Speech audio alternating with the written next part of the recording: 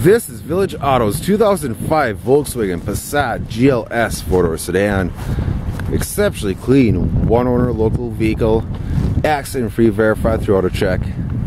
You have the rear defrost, premium alloy wheels with four light new Cooper tires. Very well-maintained car. This one does come equipped with a 1.8 liter turbo four-cylinder, along with the automatic transmission.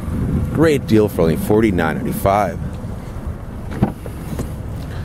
This one does have a full leather interior. Exceptionally clean as you can see.